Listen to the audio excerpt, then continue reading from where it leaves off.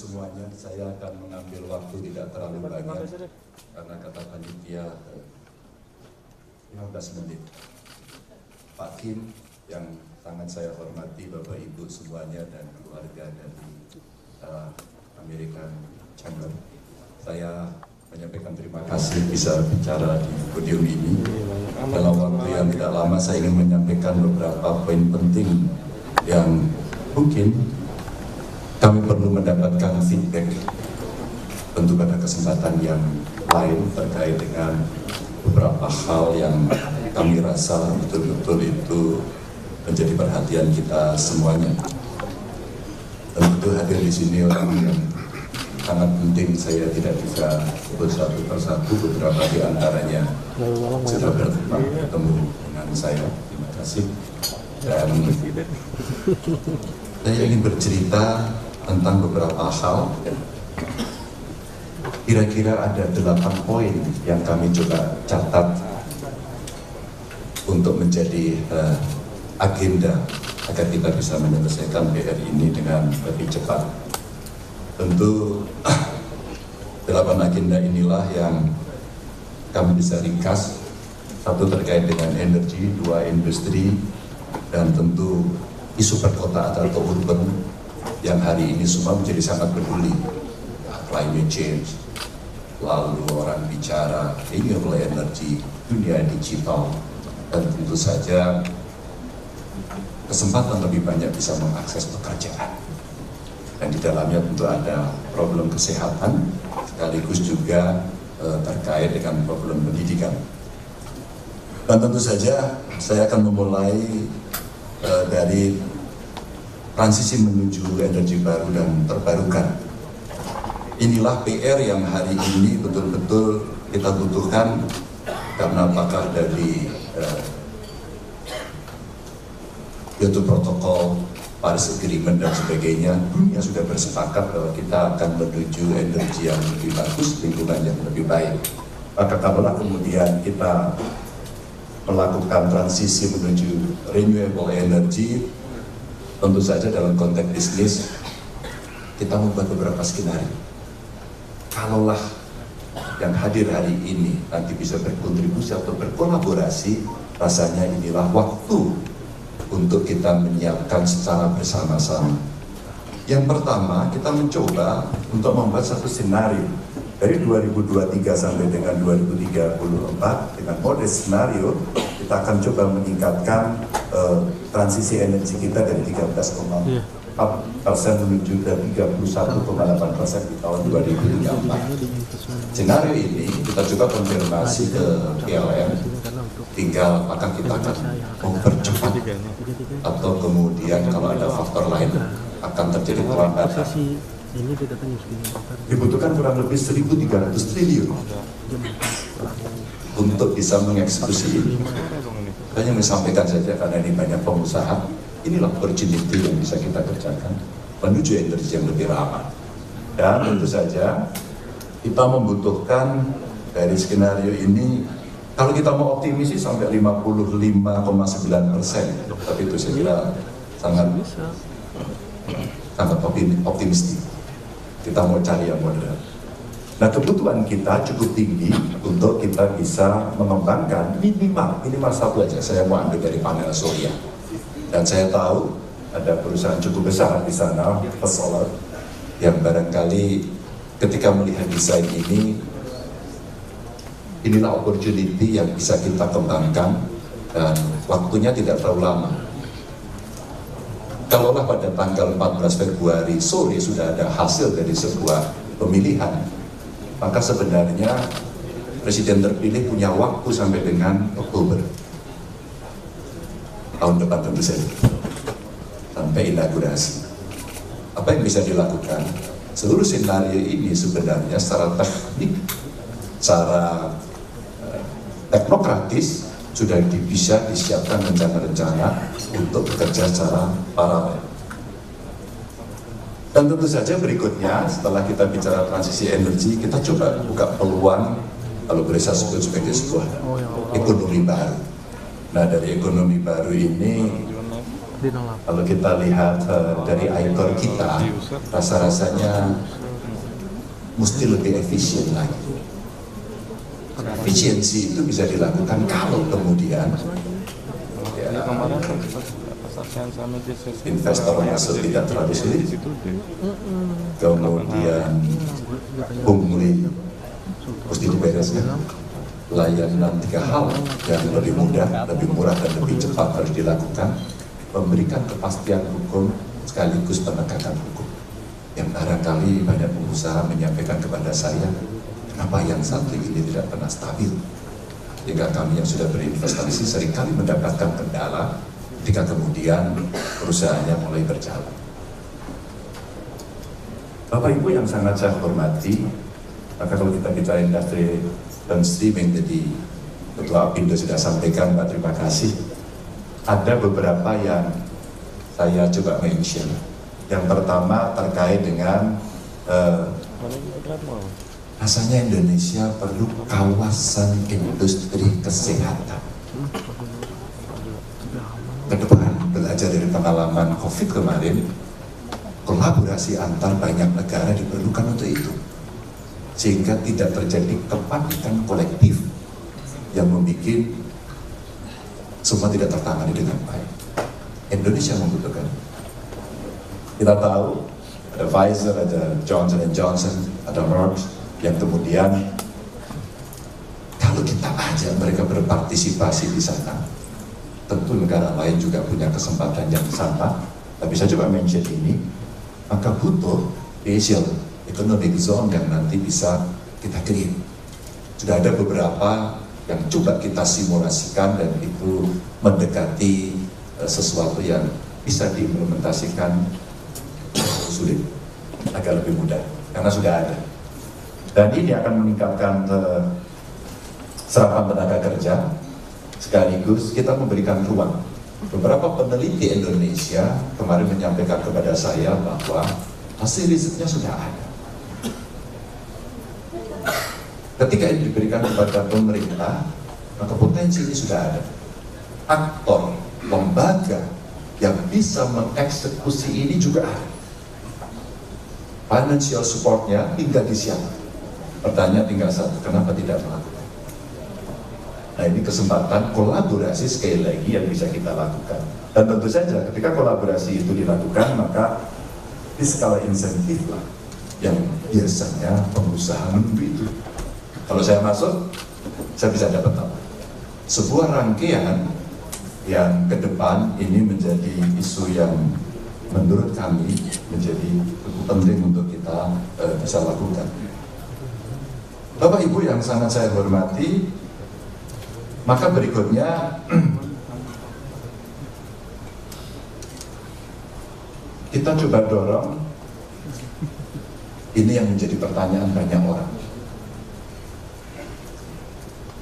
seorang muda menyampaikan kepada saya, anak muda perempuan, kenapa kami tidak bisa jualan di TikTok Shop? Pasar tradisional kami mati. Apa sisi? Sisi lain ini adalah opportunity pekerjaan baru, kami bisa bekerja situ. Transformasi ini belum tuntas, tapi dalam waktu yang bersamaan the kemudian terjadi situasi ini. Pertanyaannya adalah, bagaimana kita mengatur dan mengkompromikan ini? Dunia digital kemudian mendorong kita semuanya untuk eh, betul-betul uh, menyiapkan itu dengan baik.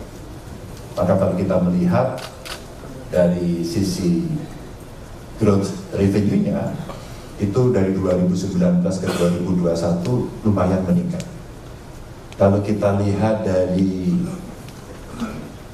gaming saja, ternyata Indonesia ini cukup gede, 790 juta sudah download. Sebuah potensi yang sangat besar sekali pada industri kreatif dan sebagian besar dipengaruhi oleh uh, dunia digital itu sendiri dan talenta anak-anak. Anak-anak. Dan mereka sekarang sudah kepingin.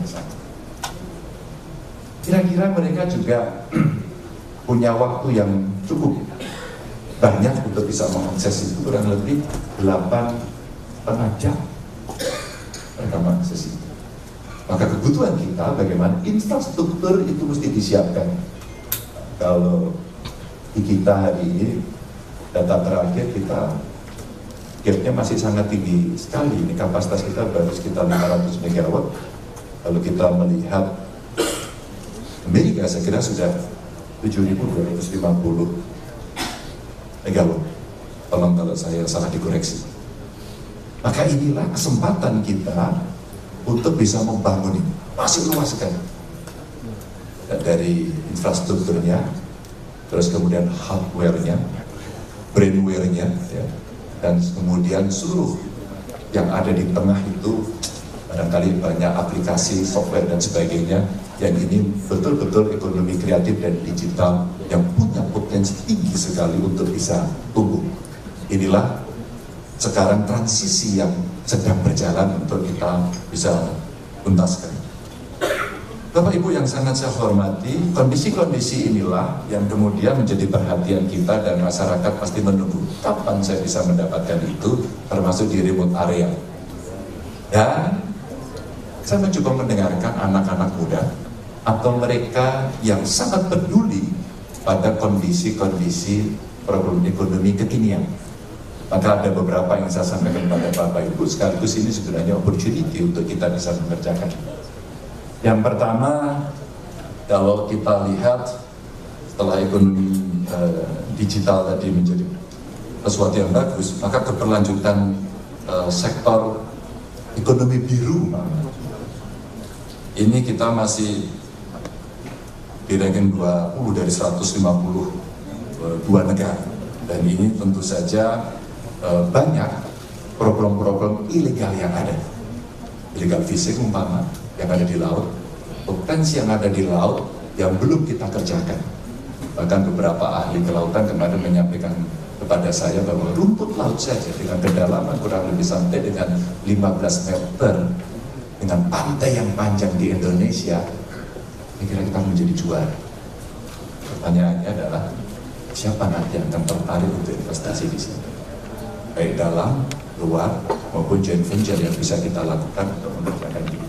Ini kalau kita bisa uh, bicara dari kondisi yang ada, uh, termasuk potensi-potensi yang berkembang di sektor kelautan kita, dan tentu saja kita ingin dorong agar sustainable fishery-nya berjalan. Apa pun kalau terlalu eksploitatif maka potensi kerusakannya juga akan muncul. Kita pernah ramai sekali alat tangkap apa yang bisa kita pakai karena waktu itu pernah ada kebijakan cantrang dilarang. Lalu sebagian nelayan protes karena apa? Itulah cara kami menangkap. Kebutuhannya apa sebenarnya? Oh, sebagian besar dipakai untuk bakso ikan. Maka ikan kecil maupun ikan besar mereka digiling sana. Pertanyaannya, kalau itu fish katakan, dan itu mesti diberikan kesempatan untuk tumbuh, maka dia mati muda. Maka inilah yang kemudian mendorong sustainable fishery yang mesti dilakukan. Termasuk blue carbon credit. Inilah yang hari ini orang mau berbincangkan negosiasi antar seluruh negara juga tidak mudah tapi semuanya sudah punya komitmen untuk melaksanakan atau potensi yang besar inilah yang bisa kita lakukan termasuk ekoturism yang sekarang orang kepingin mendapatkan tempat-tempat baru Bapak Ibu untuk bisa mendapatkan tempat indah yang nyaman jauh dari polusi ada ketenangan di sana. Dan beberapa kawan saya menyampaikan kami mencari dan akan membeli tempat sunyi. Sesuatu yang menurut saya bagus sekali. Yang mencari dan akan membeli tempat-tempat sunyi. Bahkan dia akan tinggalkan gadgetnya. Dia tidak akan tonton TV dan beberapa yang ada di desa dengan tanpa menggunakan energi yang terlalu tinggi. Bahkan sangat tradisional, itu rasa rasa lebih menarik sekali. Dan ini adalah potensi Bapak Ibu yang kita uh, bisa dorong dengan potensi yang sangat tinggi sekali mau di wilayah yang semacam Raja Ampat di Papua yang sangat indah atau barangkali mengembangkan di sekitar lautan Sulawesi yang sangat indah, di sekitar Ambon dan seterusnya, dengan pantai-pantai yang indah. Ini potensi uh, ekoturism yang bisa kita uh, dorong untuk Bapak Ibu bisa berpartisipasi. Dan tentu saja Bapak Ibu sekalian, beberapa poin yang ingin saya sampaikan ini tidak bisa dilaksanakan kalau kalau kemudian kita berpikirnya dihilir. Kami mendorong dan kami mengundang para pakar. National budget yang kita miliki rasa-rasanya mesti ditingkatkan. Sehingga ada double budget yang mesti kita dorong. Dan ini beberapa pendapatan yang kalau tadi di awal bisa efisien dalam pelaksanaannya maka tidak terlalu sulit. Tidak akan terlalu sulit. Tentu kewajiban warga negara membayar pajak. Pertanyaannya adalah kenapa membayar pajak sulit? Kenapa kemudian tidak dipermudah? Maka penataan mulai dari regulasinya sistem dan kelembagaan dan terakhir aktornya yang mesti dipilih. Kalau dia tidak bisa berprestasi achievement motivationnya rendah saya kira cepat-cepat diganti, jangan ragu-ragu. Kalau ada keraguan itu, ini tidak akan pernah tercapai. Kemudahan-kemudahan inilah yang membuat kadang-kadang pengusaha rindu pada soal itu karena saya sudah ikut tax amnesty, saya sudah bayar pajak, kenapa saya masih dikejar? Nah, ini tidak fair. Padahal kita ingin lari lebih cepat, kita ingin maju lebih uh, cepat lagi dan itu tidak bisa. Ini uh, penjelasan dari yang ada. Yang kedua, tentu saja ini indicator corruption. Yang semua orang bertanya-tanya, kenapa kemudian masih terjadi? Tentu buat kami ini menjadi persoalan sangat serius. Sangat serius sekali. Maka saya mencoba selama 10 tahun pengalaman sebelumnya sebagai seorang gubernur, saya coba mengintroduksi bagaimana nilai-nilai integritas itu dilakukan sedikit saja hanya mengatakan tidak terima kasih. Agar gratifikasi kemudian tidak masuk. Bisa ditahan oleh setiap individu atau aktor yang melayani masyarakat alias pejabat publik. Dan yang terakhir tentu kendali dari top leader. Karena katanya mereka kalau tidak ada contoh yang baik mereka juga akan meniru yang jelek. Ini yang dilakukan. Ini korupsi yang mesti uh, apa dibereskan dengan penegakan hukum dan memberikan jaminan kepastian hukum. Dan terakhir memang uh, improve birokrasi with digitalization. Apa Ibu, yang luar biasa dari pengalaman masa lalu, saya coba 10 tahun mengelola pemerintah dalam skup kecil ini menarik. Ketika kita melakukan digitalisasi, efisiensinya sangat tinggi sekali. Nomenklatur yang double itu ternyata bisa kita bersihkan. Dan itu tidak terlalu sulit. Hanya butuh satu saja. Mau. Begitu mau dan itu menjadi keputusan, ternyata ini jalan jauh lebih cepat sekali. Kenapa saya sampaikan ini? Ini yang sering pengusaha lapor kepada saya. Jika Pak Douglas, menarik sekali ada investor datang di Jawa Tengah, urusannya kecil sekali kebetulan dia penanaman modal asing. Pak Ganjar saya sudah investasi. Kenapa kemudian saya tidak bisa segera jalan? Apa problem? Pak saya dipersulit. Apakah anda berani terbuka menyampaikan kepada saya apa yang dipersulit dan siapa aktornya? Mungkin di negara beliau yang seperti ini terbiasa sehingga dia langsung terbuka. Lalu saya tanya, apakah Anda ber pernah bertemu saya? Tidak. Kenapa Anda bisa mendapatkan nomor telepon saya? Dari mana Anda bisa dapatkan itu? Saya dapat dari aplikasi lapor gub, lapor gubernur yang Bapak miliki karena ada banyak nomor telepon dan salah satunya saya coba iseng aja ini nomornya Pak Ganjar atau bukan. Dan ternyata betul, oke. Okay. Silahkan Anda sebut lalu disebut institusinya, disebutlah persoalannya, dan disebut orangnya. Saya sampaikan, baik, saya akan urus dalam satu jam, dan saya urus sendiri. Lalu saya telepon. Saya telepon orangnya, dan ternyata memang bukan staf saya, tapi ini relate dengan semua ya kebijakan yang ada di Jawa Tengah, maka tugas saya kemudian untuk nelpon seseorang itu. Saya telepon begini Bapak Ibu, Anda selesaikan minta maaf atau Anda urusan dengan saya. Satu jam berikutnya setelah saya telepon beres, segala dokumen diantar, dan mereka menyampaikan begini, Gubernur, waktu itu saya kasih Gubernur, apakah jika ada kejadian seperti ini saya boleh melapor langsung kepada Pak Gubernur? Saya jawab dengan pertanyaan, kenapa harus saya? Karena waktu itu sebenarnya saya sudah melalui tahap setiap tahap sesuai SOP yang ada, tapi tidak selesai. Maka saya meyakini ketika transformasi birokrasi yang mesti dilakukan, maka mesti ada pengawas tertinggi yang harus melakukan pengawasan supervising yang terus-menerus tidak boleh putus. Dan itu artinya memang butuh effort yang lebih tinggi lagi, atau kalau tidak, itu tidak akan terjadi. Maka Bapak Ibu, ingin saya sampaikan kepada Bapak Ibu yang terhormat, kita ini bisa unggul bersama teman. Bukan hanya lebih maju dari lawan. Sebenarnya kolaborasi ini yang ingin saya sampaikan kepada Bapak Ibu, yang mudah-mudahan di antara kita akan bisa meningkatkan kerjasama lebih baik dan mudah-mudahan apa yang saya sampaikan itu bisa memberikan catatan kepada Bapak Ibu dan tentu dalam waktu yang tidak lama ini pasti saya tidak bisa menjelaskan lebih banyak saya akan sangat senang sekali ketika Bapak Ibu nanti memberikan banyak sekali masukan, catatan, kritik, perbaikan uh, untuk kepentingan kita semua. Mohon maaf kalau ada kekurangan. Terima kasih. Saya segera pamit. Mudah-mudahan Bapak Ibu sehat. Assalamualaikum warahmatullahi wabarakatuh.